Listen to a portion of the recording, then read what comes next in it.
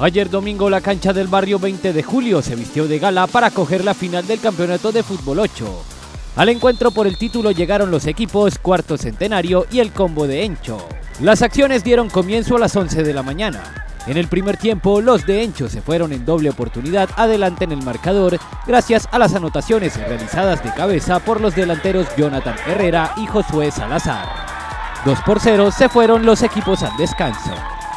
Para el periodo complementario, el conjunto de cuarto centenario encontró el descuento en los pies de Carlos Enrique Durán, una anotación que metió de nuevo al equipo blanco dentro del partido, pero que al final fue insuficiente para alcanzar el objetivo principal.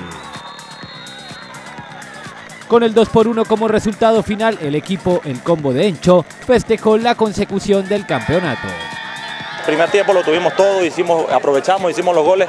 Segundo tiempo de pronto nos concentramos un poquito, y bajamos el ritmo y por eso nos convirtieron ese gol y nos preocuparon un poquito, pero gracias a Dios y por la calidad de, cada, de todos los jugadores que tenemos, pues pudimos sacar adelante este triunfo. Darle la, la, la gloria y la bendición a Dios que nos permitió llegar hasta acá, ser finalistas contra un gran equipo.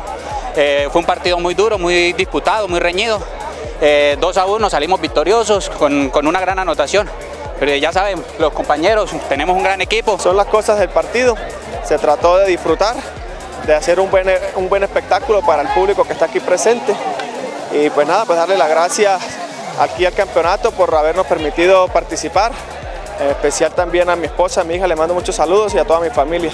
Terminados todos los encuentros, se realizó la premiación a los mejores equipos, al goleador del campeonato y a la valla menos vencida. Fueron 22 planteles en total los que adornaron esta edición del torneo de fútbol 8 que comenzó el año anterior y que por diversos factores se alargó hasta el cuarto mes del 2023. Felicitaciones al combo de Encho por haber conseguido el título de campeón.